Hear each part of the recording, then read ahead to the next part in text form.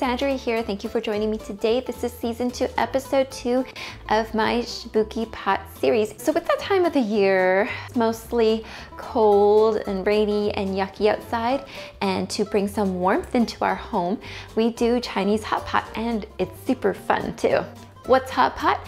It consists of a variety of dishes like raw sliced meat, vegetables, tofu, seafood, all cut up really small or thin, which you would then cook over a boiling pot of soup. What do you need for hot pot? Some items you'll need are a pot with a lid, some ladles, and chopsticks. And of course, a bowl for eating, a plate for putting your cooked items on, and a small dish for your dipping sauce. This can serve two people pretty well or more if your guests are not fast ravenous eaters. If you're ready, let's get started. So because hot pot is so versatile, you can pretty much have any food you'd like to eat. Today I have here some napa cabbage, enoki mushrooms, and some baby spinach. And then also we have some noodles. For meat, we have thinly sliced beef slices and some beef meatballs. Of course, we have tofu. And for seafood, I have some scallops, some shrimp, and some fish cakes. These are all already or are going to be cut up into small slices and portions, so it will allow the food to cook faster. So we're just gonna go ahead and cut up our tofu, our napa cabbage, and our enoki mushrooms.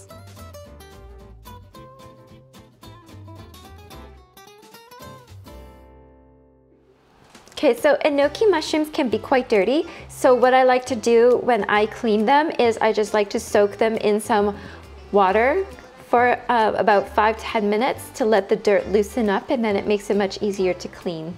Uh, with the end here, uh, sometimes you'll have the roots on here, but this one's already trimmed and so it's not as dirty. Um, I'm just gonna give them another trim and then that should be good. Hmm, there we go. So now I'm just gonna soak them in some water to let the dirt loosen up.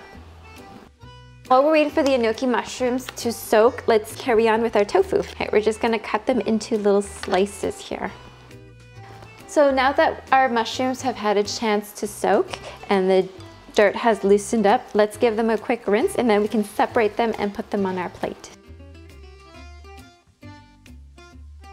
Okay, so now that we have all of our ingredients that we're going to be eating, let's talk about the soup. The soup for cooking can pretty much be anything you can imagine. Spicy, not spicy, savory, plain.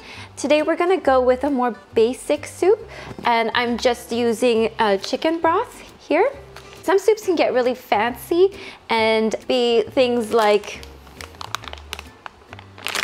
like this, which is prepackaged soup base. So you just pour it into your water and then let it boil and then you're good to go.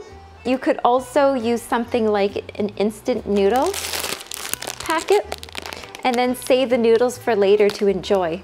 Okay, so lastly, the dipping sauce. So this is probably the most personalized part of the meal.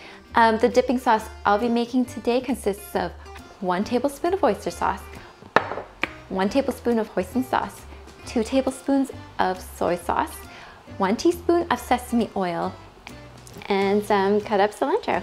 You can check the description box below for more soup base and dipping sauce ideas. Once all the dishes are prepared and the soup is ready to go, it's time to start cooking and eating. Okay, so like I said before, I'm just using um, chicken broth for my soup base here. And so uh, that's what I, I, did here. I put in three cups of chicken broth. Now I'm gonna put the lid on. Uh, turn this thing on to high and just let it come to a boil. And once it boils, we're gonna turn the temperature down and start adding in our food. Okay, since our water is boiling, I'm gonna go ahead and put some things inside. You can of course start with whatever you want. I always like starting with veggies, so I'm gonna go ahead and do that. Once you put them in, your veggies, it depends on how cooked you like them. Typically, they don't take very long at all. The spinach will cook almost right away. Uh, the enoki mushrooms, maybe a minute. The, the cabbage, maybe two, three minutes. You can check the description for guidelines for when things will be ready. It's also a good idea to use different cooking utensils for when you're eating and from when you're cooking to avoid cross-contamination. Okay, so this is thinly sliced beef here. They cook really, really fast, so you don't really want to lose sight of them. They cook for in about like five, ten seconds. So really cook them one at a time unless you plan on cooking only the sliced beef, then put them all in and then fish them all out.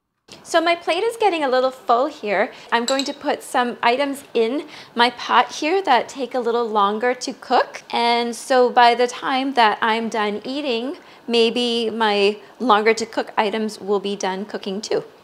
So that's what I'm gonna, I'm gonna do.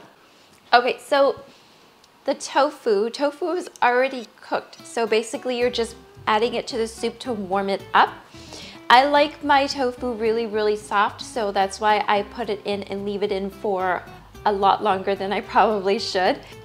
The cooking time for the shrimp is going to depend on the size of the shrimp, but basically when it goes from a grayish color to a whitish pink color, and you can't see through it anymore, they're done. Usually really fast and you don't want to overcook them because they can go from a soft texture to a rubbery texture really quick. Um, the scallops are done in about two to four minutes. It really depends on the size of the scallop, but basically they become a solid white color. Again, you don't want to overcook your scallops either because they can go from a nice silky texture to a chewy texture really quick as well. Or the beef meatballs, they come, we like to cut the meatballs with a cross shape just so that it makes it more obvious that they've warmed up on the inside and also they cook a lot faster that way too. For the fish cakes, I like to put them in for three to five minutes, but go by what the package says for cooking times.